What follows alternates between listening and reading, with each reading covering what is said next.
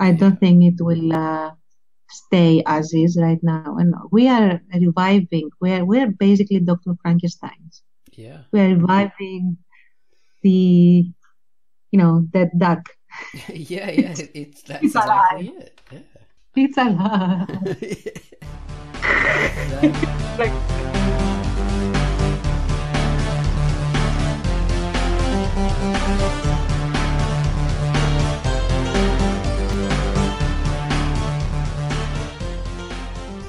Hello and welcome to the Quackcast. This is Quackcast number 387. I'm Ozone Ocean and with me is Tantz. Hi Tantz. hello. And this week we're going to be talking about uh, historical setting, the what it takes to, to do a historical kind of war story, basically, from uh, two perspectives. So I'm doing PKTA, which is alternate history, set in the 1920s, and you're doing um, Without Moonlight and Brave Resistance, so the 1940s, real 1940s. Yes. We don't um, uh, deviate from history. Yeah, so you've got no like people in arseless army pants walking around or helicopters or any No. any fun stuff. Jet powered flamethrowers no, don't make an appearance. No fun stuff. Damn. Everybody is grim and sad and, and angry. Everybody. We need more mecha in that story. So, yeah, so that's what we're going to talk about uh, what it takes to do a, a historical setting. But before we get into that, I've got to mention the feature, and uh, the feature is something I did this week. So here I am talking about the featured comic.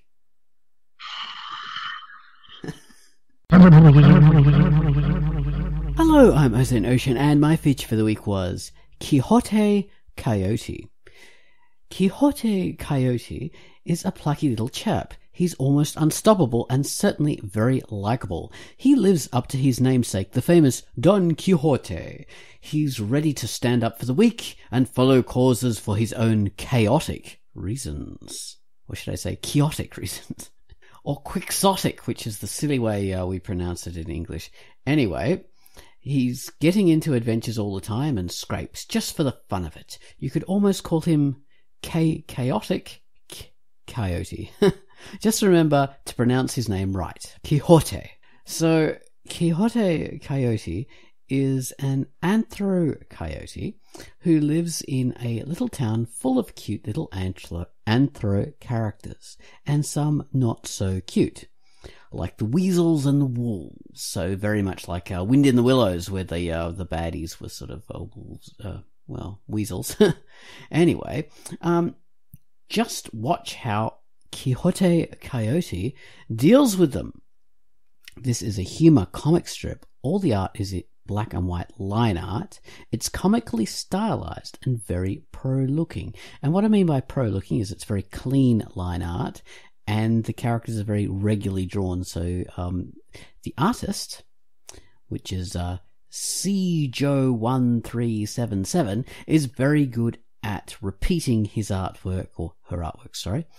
Um, CJo1377 is very good at repeating their artwork. So um, it always looks good and it's complements the writing perfectly. It's a very amusing comic. I definitely recommend it, which uh, we, you know, that's no surprise because it's a feature, which is literally me recommending it. Um, it's rated E for everyone, so uh, read it. And that was the featured comic. Okay, now next up we have the featured music from Gunwallace. So here we go with the featured music. And this week, Gunwallace has given us the theme to It's Permanent. This is old school southern rock, laconic, melodic, hard drinking late night whiskey, beer, and cigarettes. Play your cards right, and you'll be going home with the prettiest cowgirl. Take it away, Gunwallace, with It's Permanent.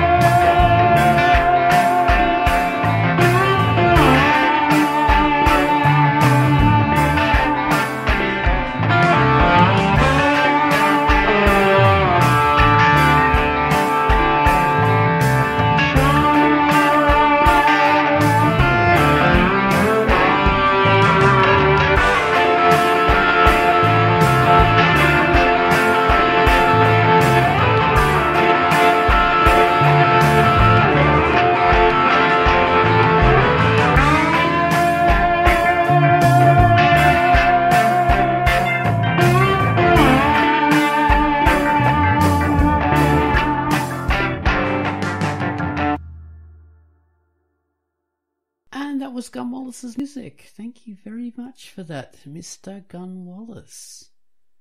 Okay, history, war history, all that kind of stuff. How do you approach? I mean, you approach it like you said, not doing alternative stuff, but how do you sort of make everything look like it's from the past, authentically? Mm, okay. Well, the first of the first thing that you absolutely need to do is to have all the setting, right? Costumes have to be accurate. Um, as much of the setting has to be accurate for the times, like uh, it has to be 1940s Athens as much as yeah. possible, uh, rather than uh, 2018 Athens. Hmm. Um, so that uh, that is um, something that when you can't get, like when I can't get it, then uh, there are a lot of occasions I have to sort of wing it in a way that would be plausible for that time, like what would exist there in uh, the areas where now you have big um, glass buildings and, and mm. things that wouldn't exist back then. Uh, you need to either find a photograph of the time of the area and see more or less how it was, or you have to imagine how it would be. So, would you have like a pastiche of a 1940s building, and you're just like, okay, this if if I'm going to make this look like 1940s, that building's going to have to have domes and arches and stonework, yes. and that's yeah. just what I'm going to do.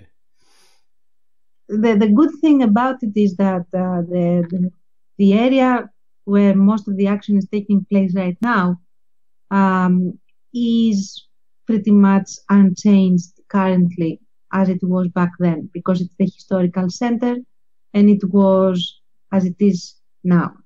So I went there and I got like a gazillion pictures from all the streets where I know the action is taking place. And I just need to look at those and and uh, yeah paint the houses in the colors that they would have then because yeah okay now they have all these very pretty yellow, uh, yellow, crisp, white uh, coats of yeah. paint over it. They didn't back then, but that's pretty much it. In other areas like suburbs, and like um, when you go away, still in the center of Athens, but away from the city center, the historical center, uh, then you have to definitely look for pictures of the era because if you don't, at least the Greek audience is going to realize that you haven't done your homework because uh, certain areas like uh, certain squares uh, have gotten different iterations and different looks per decade. So they are like placeholders for history. If you don't draw them as they were, it will look bad on anyone who has knowledge of that. Okay. So yeah, that's how and, and then I also use a very desaturated palette, color palette. But I also do that for mood because I want everything to feel drab and heavy and hmm. sinister. So there's that. Yeah, they were into those colors too back in the 1940s. Mm-hmm. It wasn't just that the film stock is faded and looking drab. They did actually it was popular to like those colors back then for some reason. Mm-hmm. So yeah, that yeah, they definitely like that. that that's a big factor. Um, what you said about say the well, what I said and put it, the words into your mouth about the uh, the pastiche of the buildings in Pinky TA as you know that's more a um a like you say an alternative history. So it's sort of set in the 1920s, and I sort of make it up as I go along, and it's sort of like I make things look as if they're in the 1920s rather than basing it on mm-hmm. real buildings because it's a you know the Crimean Empire is a fictional empire. But I, I find it quite interesting when I was like uh, in the latest story of Pinky TA, I've got this um, whole workshop and all this kind of stuff in the snow where Pinky and her group are making these mecha. So I've got these uh, huge warehouses, and they, you know, you have to look at okay in the 1920s, what did warehouses look like?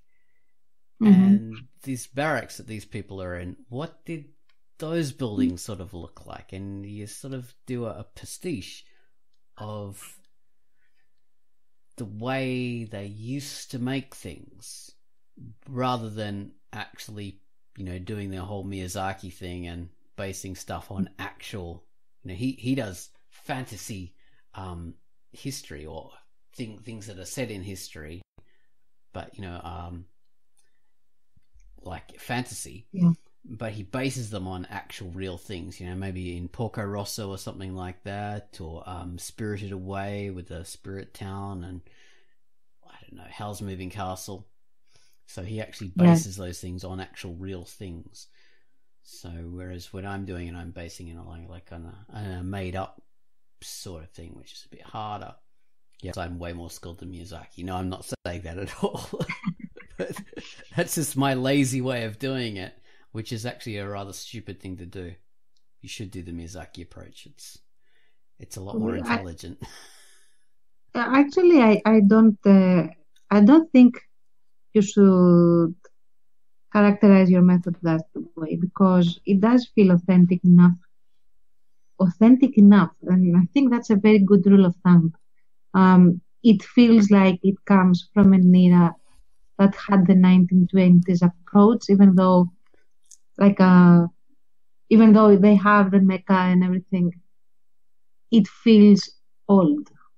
Okay. Like it's, it's, uh, it's from an, another era, yeah. historical era, and and uh, you do have enough research in how the in the logic of how they constructed their buildings, in how they approached technology, in how they approached um, costumes and uniforms and things like that. And that gives the feeling and the sensation of the 20s. Definitely feel like the 20s. Oh, thank you. I'm, I'm glad with mecha. yeah, with. It's, it's very hard when you when you kind of get into it and sort of logic reason it out because it's there's mental gymnastics because these things don't exist. And but how would they have if they had? And so then mm-hmm. you have to think, you know, how if I'm going to modernize aspects in the 1920s, how far do I take that? Do I, you know, add computers? Do I add the whole, you know, um, 19 like in the 1980s, the idea of uh, futurism was to have everything white and clean and um, mm. modernized, you know, basically based on like uh, Star Wars and 2001: A Space Odyssey, Star mm-hmm. Trek, all that kind of stuff. That's how they do it. Jumpsuits everywhere. Yeah, jumpsuits exactly. So yeah, how how far do I modernize it? And I have modernized it a little bit. You know, people wear so like skin tight sort of tops with a zip at their throat and things like that, and and so it's um it's very much a, um like a a tug of war between modernizing it and also making it sort of old fashioned and how mm-hmm. far do we go? And it's an interesting process. But the big benefit of having something set in the past is you've got all this wealth of history and artwork to draw from. So if I want to give Pinky a dress, then I just look at stuff that's in the past. If I want to do interesting things with the uniforms, I look at old fashioned uniforms and get inspiration from that. Whereas if you're doing something futuristic, then you have to be a lot more um, clever in, in the way you do that because then you have to think, okay, I have to make this look like it's something 50 years mm-hmm. from now, and how would that be? And you have to do a lot more thinking about how to do that. So that's one of the benefits of sitting something in the past. You Absolutely. Draw from and bringing alive bringing alive an, an era that already existed is, I think, assuming, of course, that you're doing it um, legitimately, like uh, you seriously do want to bring alive the era and, and give the audience the experience of being in that era, whether it is uh, parallel history or actual history, is a little bit, I think, more doable uh, to do it authentically than it would be to to jump 50 or 100 or even more like a, a thousand years into the future assuming that you also want to give the experience the legit experience of being in the future rather than just being in the present but with jumpsuits um, which is a, a thing like um, oh, yeah that's how they did because, Doctor Who in the old days. exactly. Uh, like you have to think ahead and project how science is evolving to go there. And that's, I think, harder to do. Yeah. And it requires a lot more studying than is required in order to bring back something that has already been. Yeah. Um, we have already experienced. It's it's already in our collective unconscious. So a lot of respect to people that have managed to do that. There are not very many, in my opinion, mm. but there are some who managed to think of an era that does feel like you are, you know, projecting and shooting off into the future. So oh, yeah. That that is, yeah, that is quite a skill to have. Uh, Emma Claire does a bit of that in um, Constellation Chronicles. So mm-hmm. yeah, she's she's got that. And there, there, have been some good comics on Drunk Duck that do that. Uh, what was that one? Extinction or Extinct or Exterminate, something like that. But by U- Udia, U- Udia. Oh, oh yeah. I'm I'm not sure. I'm not sure. I I know who it is though. Exactly. Yeah, her name is um, Y U no U Y D E R. Anyway, mm. that's um that's a really well done kind of thing. So there, that's futuristic. But yeah, yeah, yeah. In yeah, it's it can be a tricky thing, especially say, well, yeah, as I said, I'm doing like an alternative history 1920s, and it has it's a world with mecha, and mm-hmm. that changes the world a bit. So how far do you take that? And there's a gigantic tank thing in this comic as well. There's the the Ill-Judged helicopters in the very first part of the comic, but we, we should mm-hmm. we never mention those again. we shall never speak of those. how how far does that bleed in? How far does that uh, ruin the 1920s setting? How much future stuff can you stick in there before you mess it up? Which is yeah, that's tricky. It's very tricky. A balancing act, I think. I would say I would call it a, a balancing balancing act. To be honest. And one thing I'm curious about, say in um, in say your comic. Okay, so I'll provide an example in mine. So you're doing the you're doing the past setting, and mm-hmm. like you do a say for example set dressing. You're doing a room in in your comic, and rooms have other features like light switches, light fittings, tables, um, addresses, chairs. Do you go mm-hmm. and look at those things and make them all like appropriate to the time. Oh, absolutely. Uh, the biggest uh, thing that jumps to mind in the, in a situation like this is the medical the medical stuff. The medical stuff. Oh yeah, with Nikos. And, um, yeah, not only with Nikos, but also in uh, like in Without Moonlight. Even just an IV, the way the IV looks is uh, is entirely different to how it was back then yeah. to how it is now. And and although they did have it and uh, it was widely used and everything. So uh, you have to go look up and see how the IVs were not generally in the 40s because they also changed drastically over the decade. Yeah. So if you put like an anti-45 IV in 1942, someone is going to call it out. It's for sure. like it will feel like an anachronism. Yeah, Uh, yeah, you've got that. Yeah. Exactly. Um, Pinky TA can get away with that in some respects. Yes, a little but bit more. can't.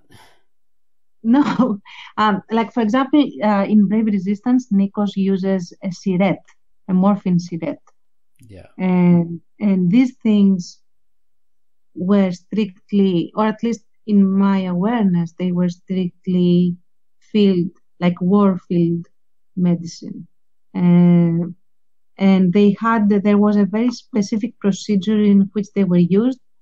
Um, either the doctor would use it on the wounded soldier and then they would pin it on the soldier so that the other doctor, the surgeon that would receive uh, the injured uh, soldier when they were taken away from the battlefield, uh, would know how much the, how many syrettes or when Yeah. uh, they were administered. so so that give them an overdose. Yes, exactly. So I had to to tweak this for Nikos in the sense that he's not he's not in uh, the field, the battlefield, but he's using these things because they are basically stolen from raids, from crates of medicine intended for Rommel Yeah. and not for Nikos. so they would be like uh, military things, military issue things, like this. and uh, so I had to find syrettes, and I had to go look for morphine syrettes that were Nazi morphine sirets. There's also that okay. Yeah. Yeah. Yeah. because they had different formats than the Allies in se- several things. But you can't always find it. And when you can't find it, you have to wing it and pray that it falls at least Mm. uh, close to what there existed in reality. Yeah. Um, I've had that. But uh, the thing is that for very specific things that date the era and date, and then they will date your comic on whether it is accurate or not, you have to be extremely fastidious. Mm. And um, that is an exercise in uh, in frustration, always, often, on how to do that. Oh yeah, I've I've had that in in Pinky TA with um, you know, I'm depicting these scenes in the workshop, and I thought I've had to sort of brainstorm. Okay, so I'm doing a workshop scene. What do I need in a workshop scene? What, what do I have? Okay, so I need tools. I need um drill presses. I need um like cranes and things like that. I need blah blah blah blah blah. What did a drill press look like in the 1920s? I just Mm. assume it'd be like a modern one. No, they're completely bloody different, and they were very. And they used exactly the same kind of drill press all the way until like the 19, 1950s or something like that. Lathes Mm. looked very different back then. All these kind of tools looked very specific, and so I, I was like, you know, getting drowning in the the pit of reference and historical accuracy, and then I realized, hang on. I can use my alternative history stuff to make old de- idealized versions of these things that an audience would, re- would recognize because drill presses in the 1920s just look like nothing that exists today. They look bizarre. No one will know what Mhm. it is. So it's counterproductive to be too historically correct Mhm. because it's I'm trying to do a recognizable workshop scene and it's not going to be recognizable as a workshop scene. so in that Ah, kind of aspect, it helps Mhm. to add anachronisms because Mhm. I can, but it makes it more recognizable. So yeah, those. I think that change. sometimes uh, anachronisms are necessary even when you are uh, reviving the actual historical time rather than uh, an alternate version, exactly for that reason. Um, like for example, we we have certain ways of communicating, like body language and and um, the ways that like there is a, a, social code that we have now that didn't exist back then. But if you go full for this and and use the full body language and the full social code that the 40s had, it's going to be too alien yeah. for the audience. They are not going. They are going to misconstrue certain things, um, and take it like, for example, oh, they they are they are not they are they are being uh, very typical, where in fact they are flirting, or they are being uh, prudes, where in fact that was just the the language and the way they were talking, not really how they felt. But um, you can't like put asterisks in the balloons and say, you know, actually way that uh, Fortis was and not uh, to be taken in this and this and that. And uh, because of course it will throw you out of the story. So you have to tweak the, the, the dialogue and tweak some of the body language and the way that they interact with each other to signal certain things for a modern audience, which uh, wouldn't be the case in the 40s.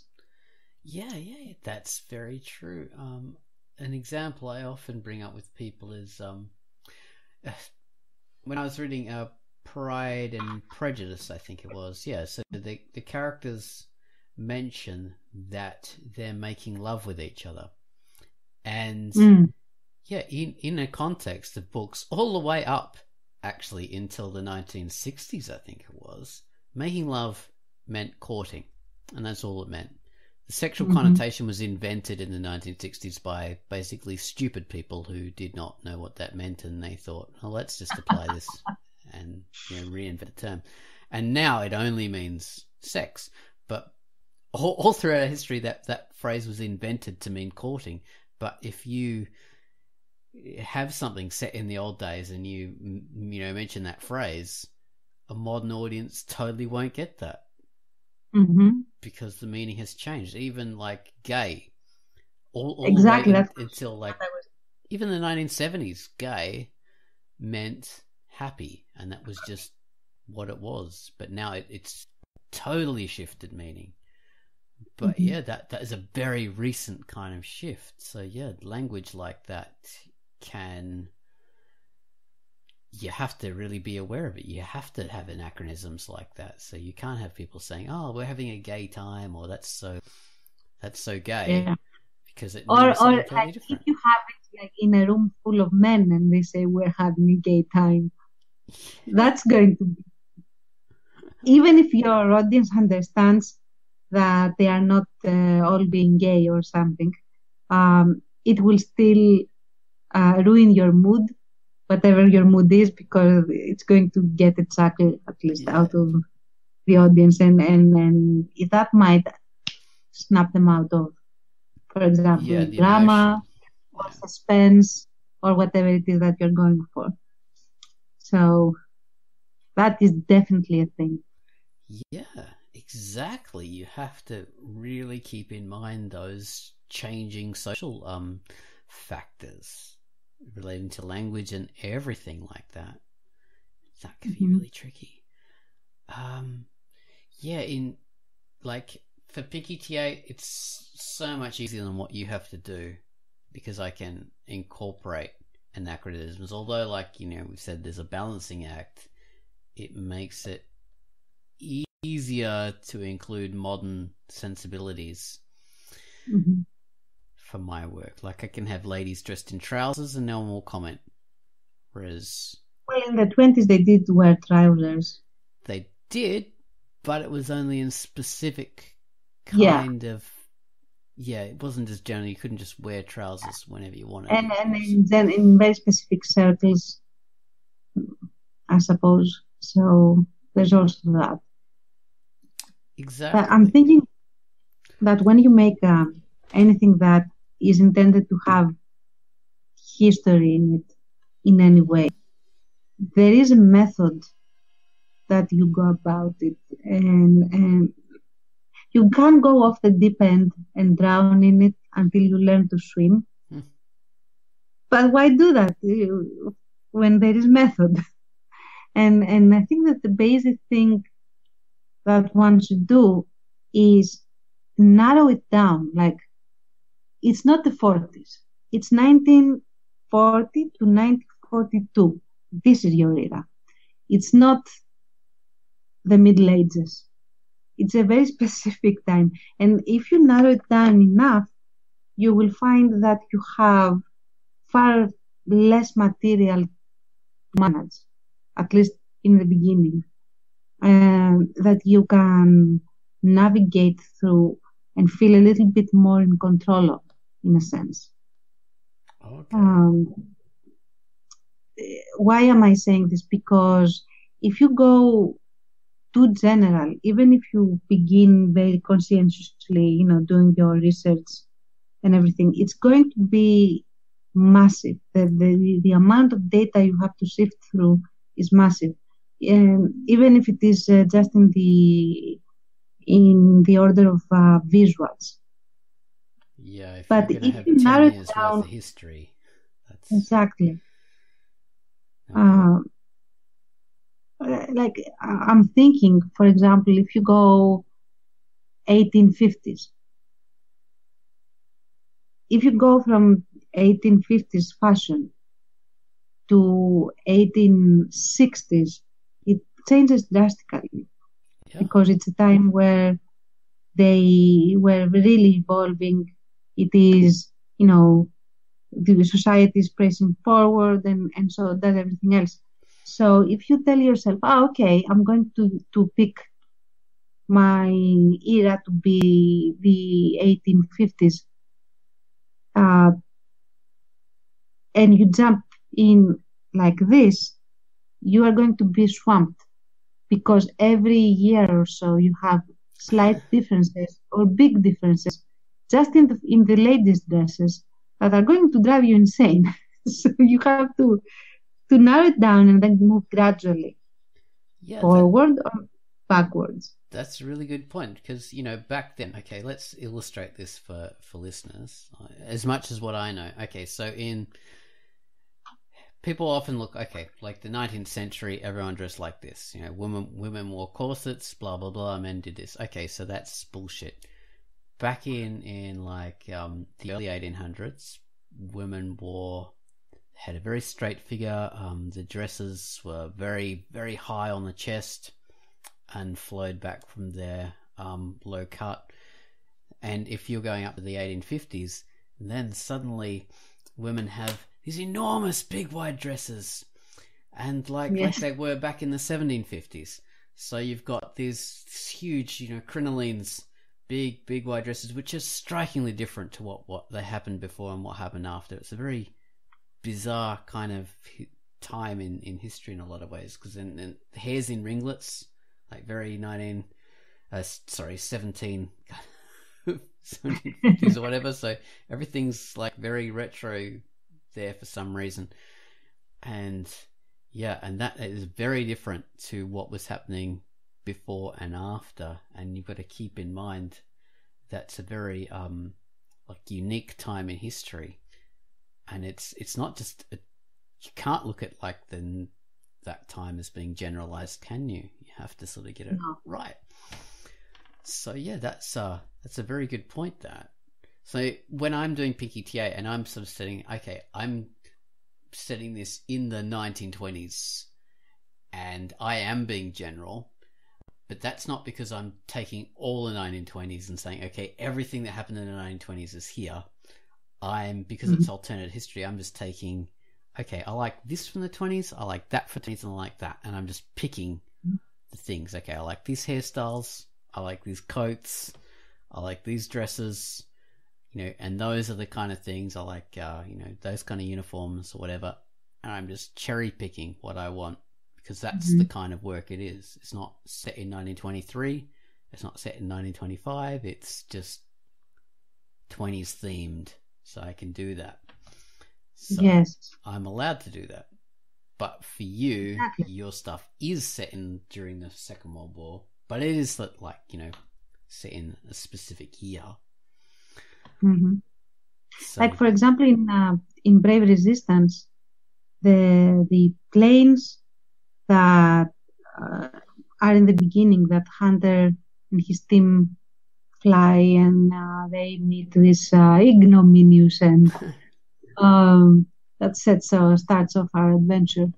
Uh, they are technically not supposed to exist in 1943 until the very very late 1943 yeah, and even then it's uh, really stretching it and pushing it. And and the reason we picked the version of the mustang the p51 if i'm not mistaken because it's been a while since i researched that. Um, uh, was because we wanted it to be very super advanced. Like uh, I, we wanted it to feel that the, the actual plane that uh, the americans are flying in for this particular mission were basically aberrations. They were not supposed to exist. They were yeah. prototypes, very advanced high technology. for the uh, super high technology. And, and that actually is the, the point and the gist that drives not only this particular arc of Brave Resistance, but also the next one. Because as Hunter says, when uh, he discusses this with Nikos at some point, uh, it did feel, and it was a trap. And someone sent them into this trap. And that's what is going to be explored in the second arc after this arc ends, where we establish all our main characters. Um, Okay. so there's that. So yeah, in terms of that, instead of like saying, okay, so this is typical for 1941, so we can't have that, we can't have this. You're doing, you're going the other way slightly, and you're saying, okay, this, this is not typical for 1941, and we know this, and there's a reason for it. So yeah, you're putting that in there, but Yeah. you, you are being a little anachronistic. No, I mean not really Yeah, because it is well, I am- likely that that could have that could have happened. That's not, and it's not likely. It's, it's that logic says that it was in development enough at that Yeah. particular point in time, which is uh, 1943 for Brave Resistance, that that it could warrant to have prototypes yeah, around. So, So if you an play argument with for the gray zone of plausibility in order to get the plot going. yeah, it, it's plausible. Yeah, that's Exactly. Which is why the planes are not uh, normal in any sense of the word, and we almost got our plot blown wide open by connoisseurs. Oh. The people in the know. yeah, calling us out like this was the way it was done. It's like a, we know. Please don't point it out. Thank you. Yeah, that could be tricky. That could be very tricky.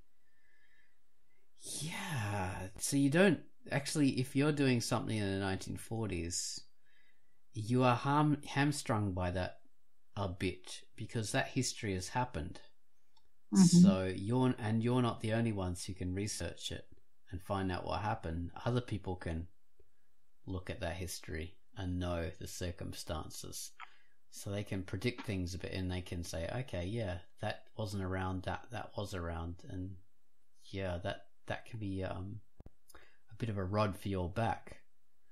Whereas Yeah, me, absolutely. I'm, I'm not so hum- hamstrung by that because yeah, mine is invented. Yeah, or or if you do something like, uh, for example, if we take uh, Inglourious Basterds, you have Tarantino doing basically this, diverging from history. yeah. So, yeah, yeah, we know that uh, Hitler was never in a, in a cinema and he didn't burn down there. Spoiler, sorry. Uh, but uh, it doesn't matter because we all accept that this is an alternative version of history. So he does everything else in an accurate manner so that his fantastical story can can fly on these wings. And everything else will be quote unquote forgiven. I, am not going to say that like it's going to be accepted. Yeah. And yeah a lot of things in uh, without moonlight also i hope will work in that manner in the sense that i have kept things as historically accurate as i could make them at any given moment and i still keep researching and finding things and everything but in order to get the story going i have changed the story of what actually happened in operation harling to fit my plot to to involve my characters in that particular plot. So I I just created an accident that I hijacked from an actual accident that happened with a particular operation. So I have uh, one of the uh, British SOE operatives fell uh, where they shouldn't mm-hmm. in reality but I make made him fall really off and land in Athens where he shouldn't uh, he shouldn't actually have been. Um, and that's how we kick off the Without Moonlight plot. Okay. This is the thing that diverges from history enough to involve my characters in something that historically took place. Yeah, yeah. And that, that's pretty common when, you know, you look at Hollywood movies that were set in World War mm-hmm. II. Some of them were based on real events, but a lot of them are, are fiction. And you you base it on loosely base it on real stories that happened, and you work your characters in around them. Mm-hmm. And yeah, you're not doing what people in the modern world do and like say, okay, this is how the Americans found the Enigma machine, and you know, oh no, rape history. You're not doing that at all. You're just sort of massaging a bit, which is yeah, way more interesting than reinventing stuff, which is just um, that's I a think, bad way yeah, to do it. I think. Yeah, I think that reinventing stuff in like twisting history completely out of shape in a way that doesn't signal to your audience that you're doing it because like if you do it like Tarantino, everybody knows that this is an alternative yeah. history. Let's wish Nobody, that one. Exactly. Everybody wants to watch Hitler be pel- pelted with I don't know how many hundred bullets uh, in a burning cinema. So that's fine. But if you present something as being historically accurate and then you swap events in a believable manner that someone who is not going to go look it up is going to take it as fact, then that I think is uh, a transgression to your audience and to history. Yeah, it's just yeah, you're just doing it bad. you're doing it. You're doing yeah. a crap job. And there's no Basically, reason to do that because there are established ways of, of doing these things that are way more interesting and way more fun, like you're doing with um without moonlight. Mm-hmm. Not only are you informing people of a, a, hidden part of the history of World War II, you know, with the jump, the leapers, and all that kind of stuff, and the Greek resistance, which is people love resistance stories you're also do, you're also creating an interesting story. So, I hope. yeah. Uh, yeah. Because the idea is to get people interested in the in the history and get them to research, and then when they do research, not to have them like completely be amazed. Oh my God, everything I I saw or read was a lie. The idea is, oh, okay, this is what exactly like the accurate thing and this is the inspiration of that film not that oh my god i was lied to like with uh, the enigma machine and the Americans. No, that, that's an affront. That, that's wrong. Yeah, yeah, yeah, yeah. It's just, that's just a silly way of doing it. Whereas, yeah, uh, and uh, in, in Pinky TA, I totally um just avoid all of that stuff and create whatever I want. yeah, because because we when you have like a giant mecha in the in the twenties, everybody knows what they are signing up for. So precisely. Oh, and I can dump in. I can do a Tarantino and dump in historical figures if I want. Mm-hmm. And yeah, and and, and that. that I would be really interested if you do it because that will be a take, like an interpretation of these characters, these characters, these these figures story, in a in a way that will be adapted for your world, and that will be very interesting. How that is and how that happens. Yeah, I will probably do that. I had, um, I I think I do have Mussolini in my comics somewhere. Mm. So is he is he fascist yet in your world? He, uh, I think so. Yeah, I'm pretty sure. I've I've got the not- because he started off being anti-war and all that jazz. So by yeah. the 1920s. I'm not sure what he was.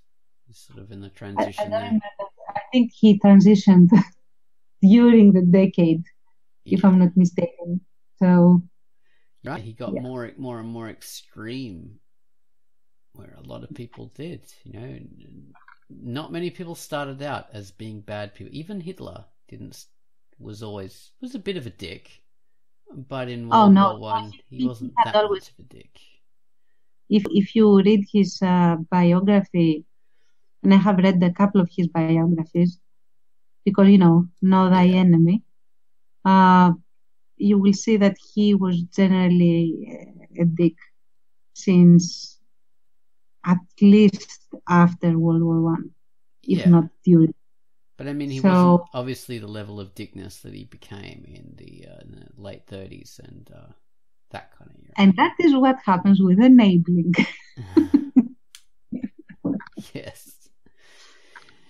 Yes, he sort of fell in with uh, the very a very very wrong crowd, and uh, they they all sort of uh, enabled each other and became far far worse than what they would have You should totally, you should totally have an incarcerated Hitler in your comic. But during the 20s, yeah, I think he was in jail. So get him in there. Oh yeah, that's interesting. Cool, because uh, Pinky yeah, yeah, set in alternative history. So there's the Crimean Empire. Um, so they're mainly Russian. These people, which uh, the Crimea, from what I've read, was back in those days was more Russian than it was Ukrainian, and that was just a, a bit of a weirdness of that uh, that part of the world. And hmm it, it's changed hands in all sorts of weird ways. At one time, it was more Tatar than than Ukrainian and Russian. So you know, so you've got those kind of uh, um, more tribal kind of people, um, very very different from you know from the people that are now there now. But at, at one time, it was it was more Russian. And that's sort of where the whole Pinky TA world is, where when it was Russian and uh, so the world is split in very different ways. So it's sort of east and west in a lot of ways. So the the Americans are more neutral in my world, but they're more towards like supporting the the British kind of um, hmm empire of part of the world. The British are sort of the bad guys in my comic, although I haven't really mentioned that yet. So yeah, the British Empire sort of bumps up against like the Crimean Empire as you know we're splitting off the world, and yeah, then you've got like I'm not sure where the like the, French and the Germans again. So you've got all those kind of like semi empires bumping up against each other, and I'm I'm thinking that the Crimean Empire is sort of you know at war with um, uh, the French and the English. Pretty much, they're the main opponents. And Hmm. the Germans and the Italians, I'm not. I, I from uh, so far, I'm thinking they're sort of like uh, they could go either way. But they're sort of more neutral between the the Crimean Empire and the the other side, which is French and the English. Um, Oh, that that's actually really, really exciting. Uh, if you go that way and you de demonstrate this, because that is a study, in a sense, in what might have been yeah, if uh, things were just slightly different, not even all that much. Well, in a lot of ways, it's sort of taking like the Crimean War and what happened then. So you have the back then you really did have like the French and the English against the Russians, and this is as if okay, the the Russians weren't really. I don't know. You know that that sort of ended a bit more inconclusively. That whole period in history, every everyone sort of Yeah. lost. But in this version, yeah, the uh, the Russians are still very strong in that part of the world, and things are centered around Crimea. And that way, I I can have all the interesting conflicts in Afghanistan, and you know, uh, this Indian subcontinent between. You know, I can draw from history. So the British were very strong back then in those parts of the world. And yeah, the Americans were a, a growing power, but neutral. They could be dangerous to Mhm. everyone or no one. And so they're a, like, you know, a sleeping monster in the middle of the Pacific, Atlantic, whatever. So yeah, I can, I can use so many interesting aspects of history, is interesting to me if I ever get up So to that point. Oh, you will. yeah. Uh, yeah, that's that's uh, awesome. And the, another thing I think that someone, at least uh, in my experience, that uh, if you want to to get into history and to depict history, um, I think that is extremely important is to make sure that you get the stuff from a lot of sources. And when I say a lot of sources, I mean that you have to be extremely aware of the politics of the era. Even if you don't go for a political uh, slant in your comic, even if you keep it absolutely like Indiana Jones level, Hmm. uh, neutral to politics, you still need to be extremely aware of the politics of the time because then you will be in command of the sources that you read.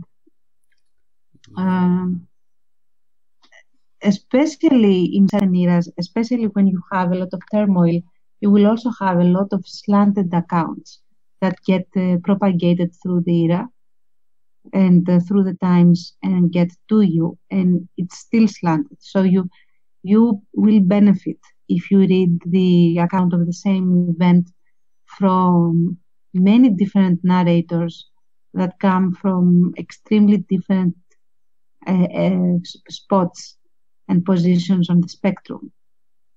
Um, and I will give an example. Uh, one of the figures that is going to appear soon in Without Moonlight is one of the leaders of uh, of uh, the Greek resistance. There were a couple of really big ones and a lot, several uh, uh, smaller ones. Because in Greece, everyone wants to be a leader. Okay, it's a thing.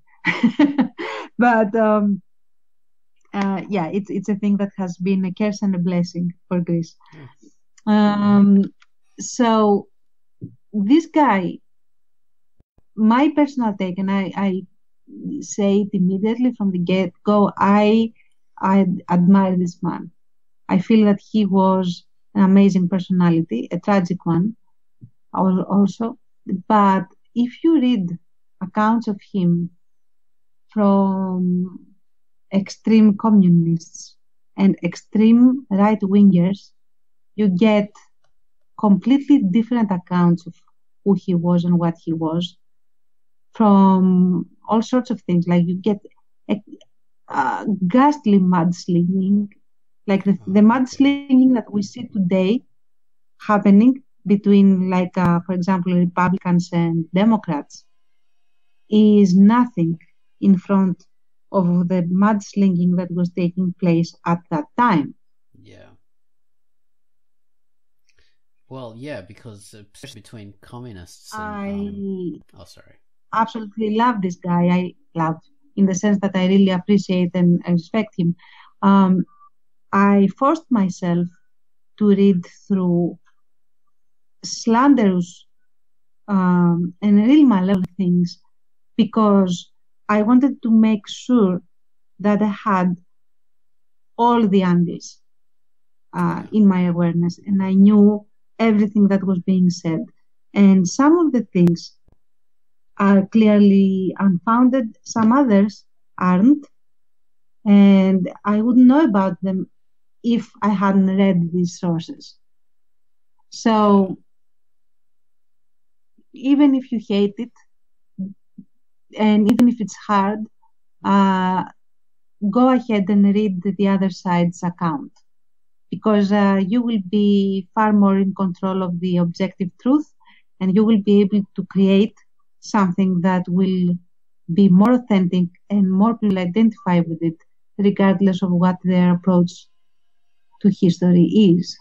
So that's uh, my advice if you like It, it, about any era not just you know greek or whatever. It does inform your world a lot better and allow you to go in different directions because you know like the, feeling of the time and you know what you know people's sensibilities were. So in pinky tea i've sort of done the same thing and that you know i wanted it to sort of be this whole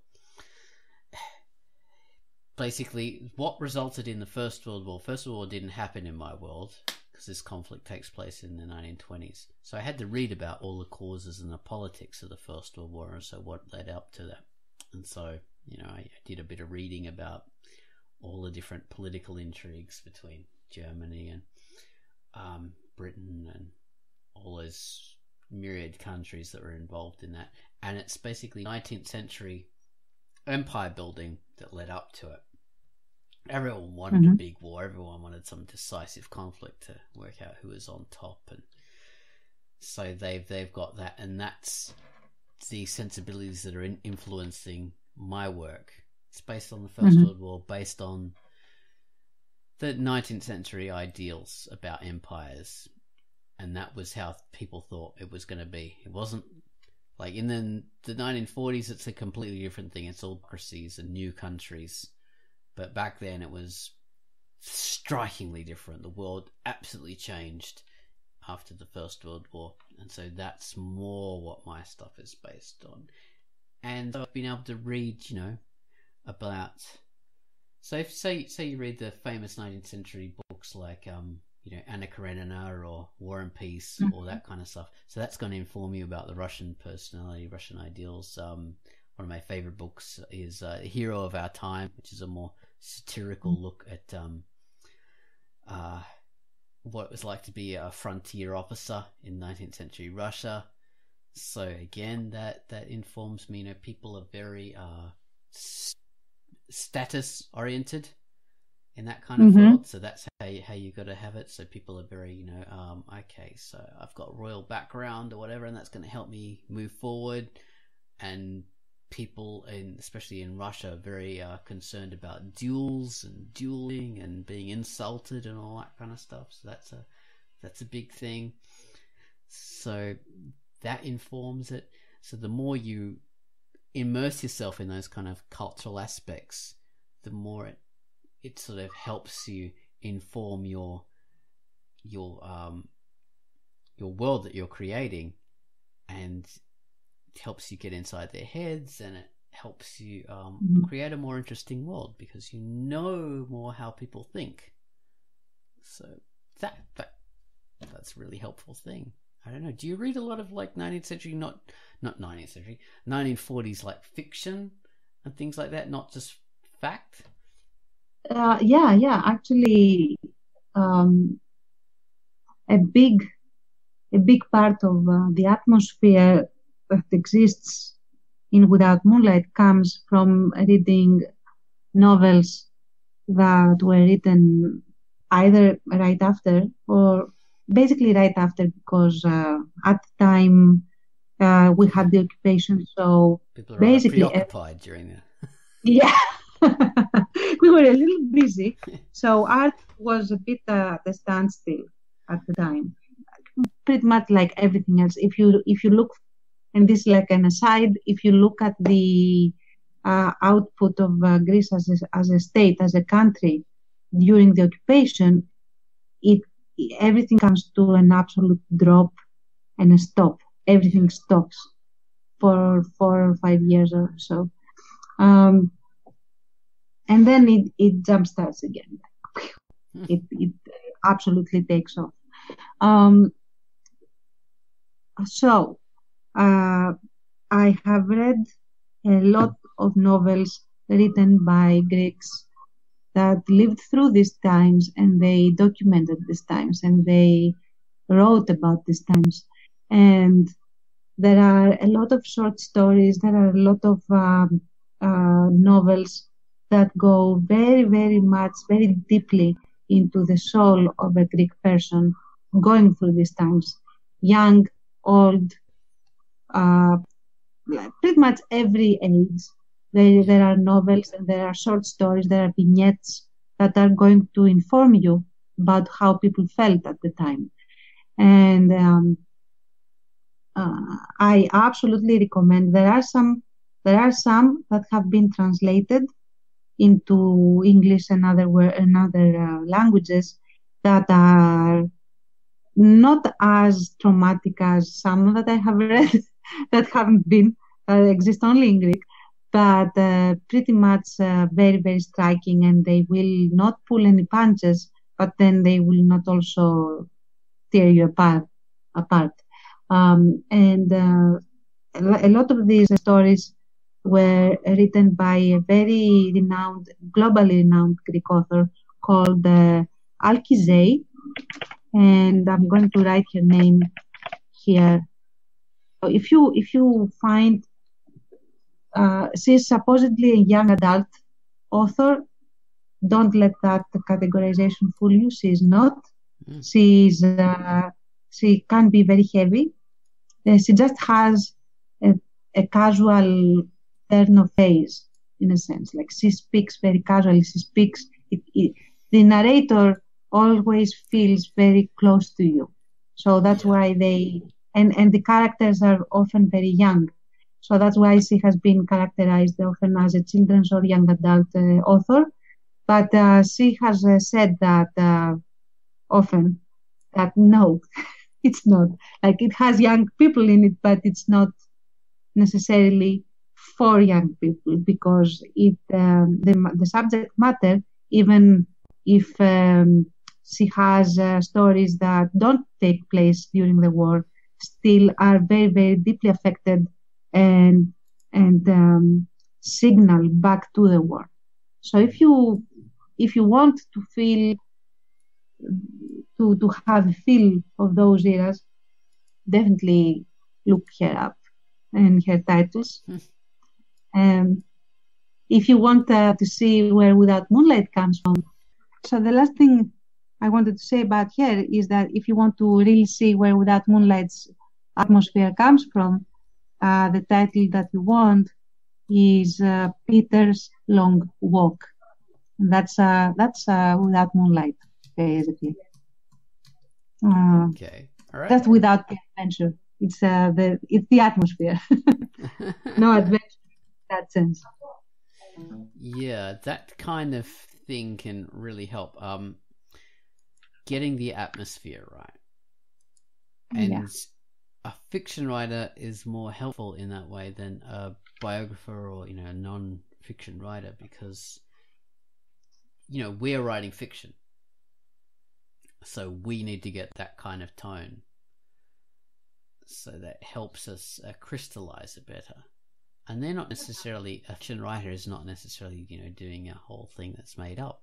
They're people who, who know mm-hmm. the time, they've done the research, or they've lived through it, and they're able to do it. So it gives us a good kind of, you know, a pointer of how we can do mm-hmm. it. It's like, um, someone who who does comics, and you know they they've done a uh, a caricature or a version of um, uh, like a famous figure or whatever, and you know that that's caricatured and that's simplified, and Mhm. us copying it is not going to be helpful, but also us doing our own version and coming up with our own simplified version from you know realistic photos is just reinventing the wheel. So it's better to look at how they've done it, as well as looking at the, the original photos and then coming up with our version.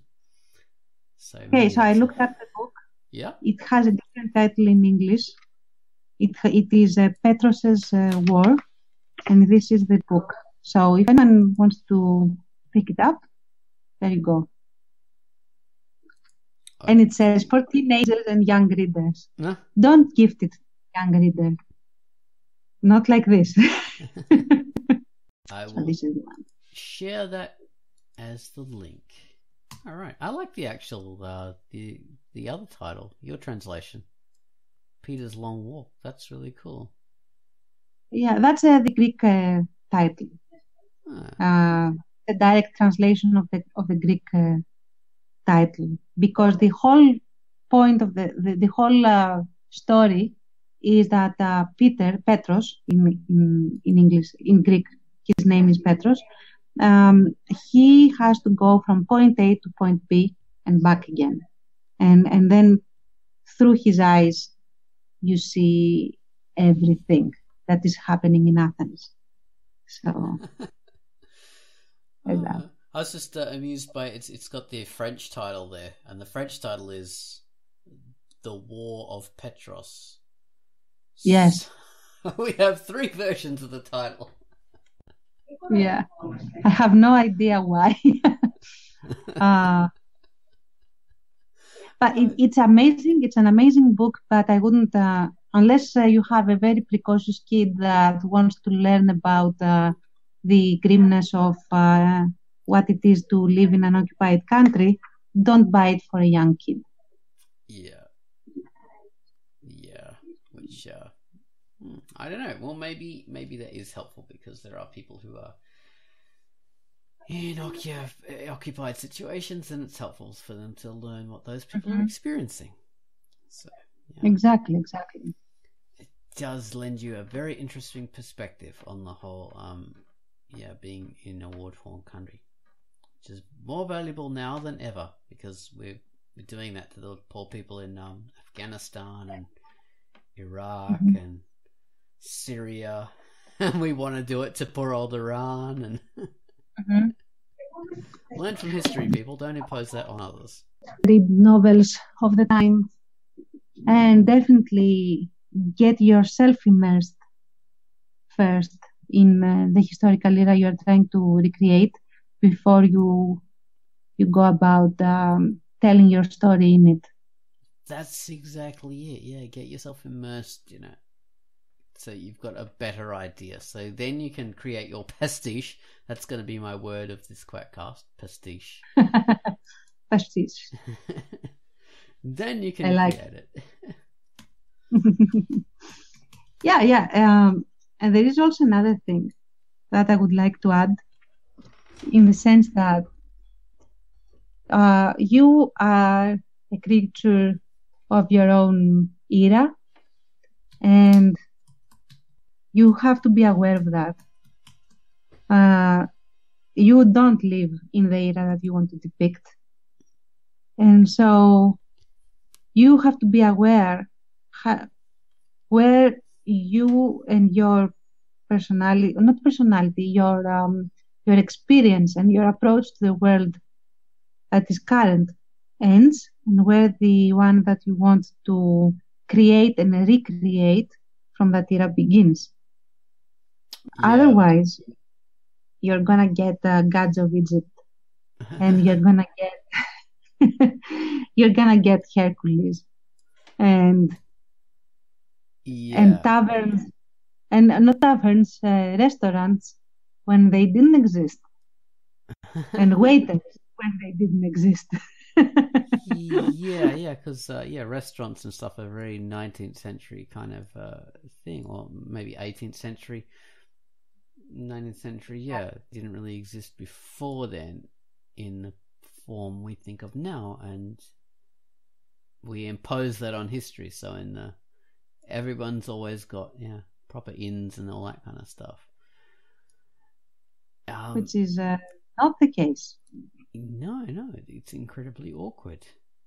That's actually a good point. You know, your your whole immersing um, yourself in the in the current world, yeah, because your your uh, view of the world uh, diverges from the whole world that, that people had in the mm-hmm. past. That is a very very good notion. I was thinking of some uh, great animes that do the whole historical pastiche and alternative world because that's what you know Pinky TA does. It does it in a very anime kind of way, a very manga, I suppose, kind of way. Mm-hmm.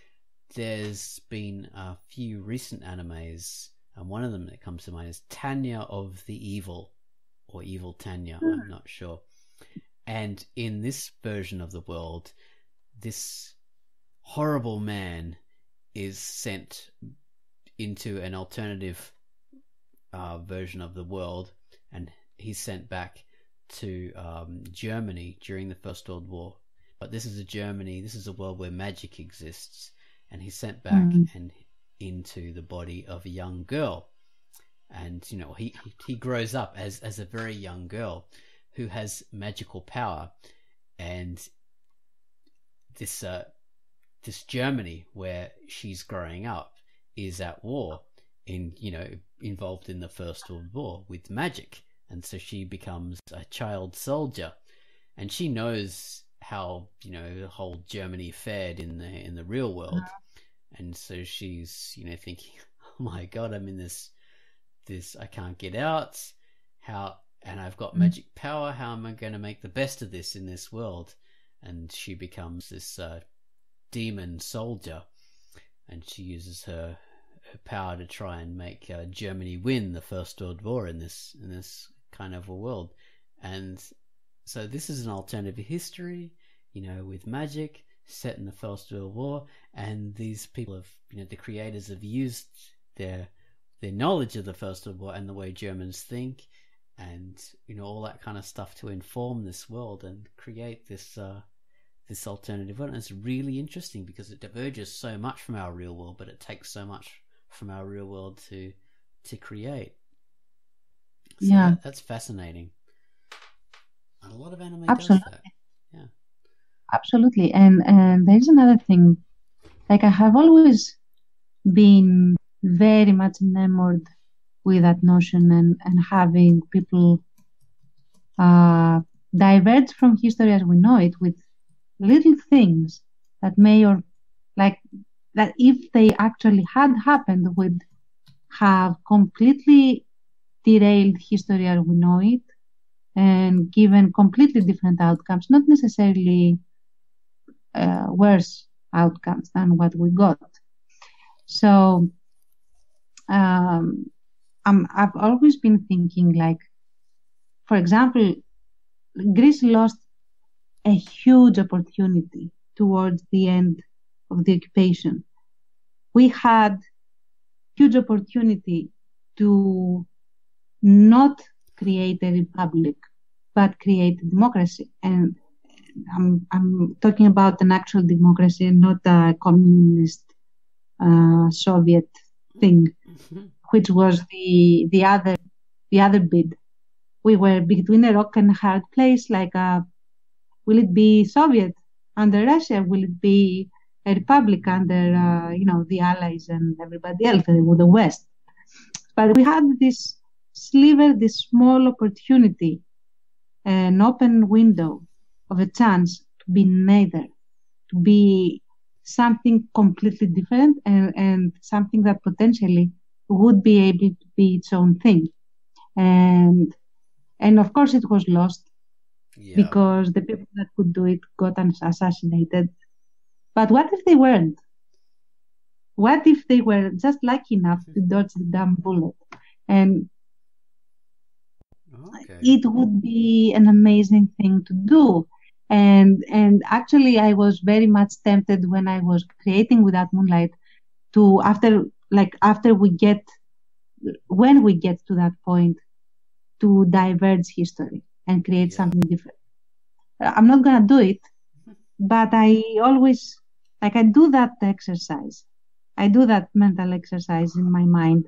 Like what would have been? What would have been the thing if if that had happened? If if uh, we had uh, the a, a referendum when we should have had it and it wasn't cancelled? If people hadn't given up arms when they did, uh, as they shouldn't have, and blah blah blah, this sort of thing. well, Um, you'd have mecha and Pinky TA World. Yes, and and people would go around uh, in uh, bottomless pants or crotchless pants or something like that. Precisely. It's what it leads to freedom and democracy, and suddenly that's what ends. it's Exactly. oh, God. But uh, it does make for for great opportunities for storytelling. I might at some point, when I feel a little bit more skilled, perhaps, I might make a a short comic, like a short story comic, with an alternate reality. And what would what would the outcome be if we had this instead of that? It's. I think it's definitely worth it as as an exercise, and it's it's just fun because Mhm. the when you create an idealized world, you're not creating Mary Sue world because No. that's no fun, but you're using that as inspiration to create something interesting, and then you you know you introduce conflict and you know you introduce the bad sides or whatever and it allows you to to explore this kind of world because um you know you like you say okay what what happened what would happen if you know we had this sliver and we had this great democracy?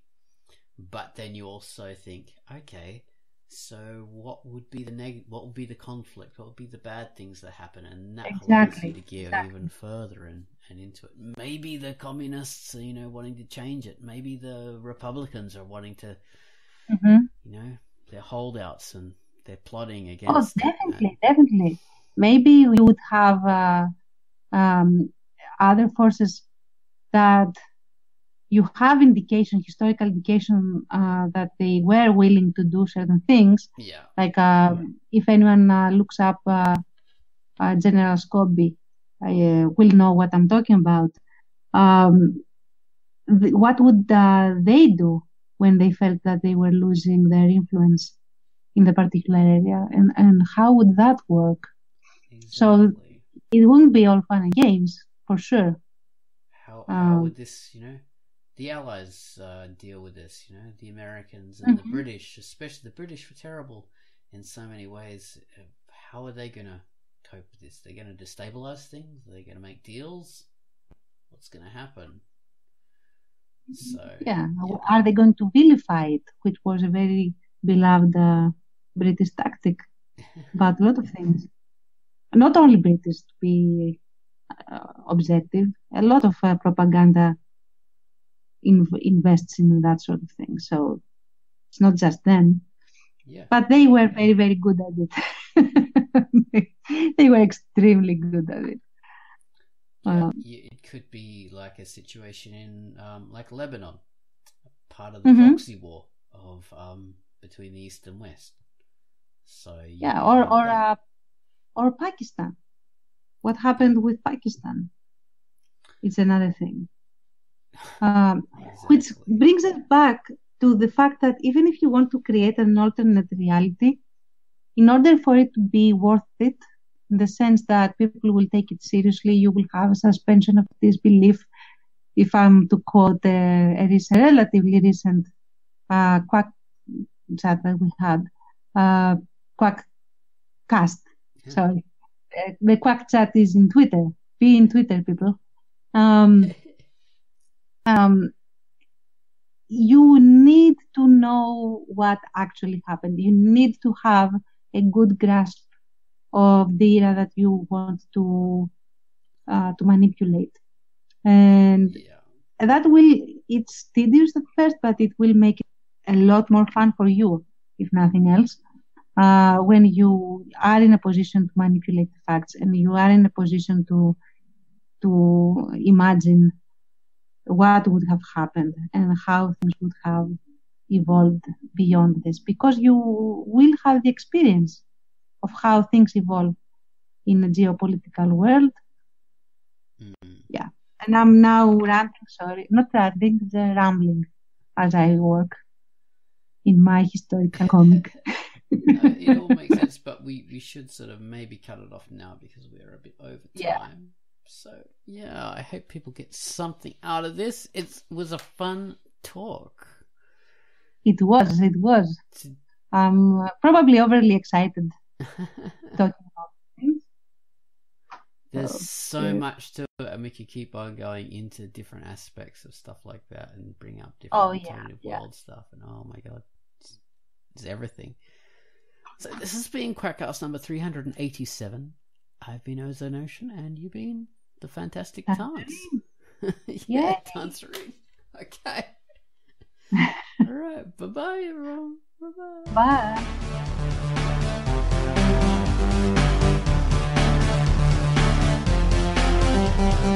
Bye.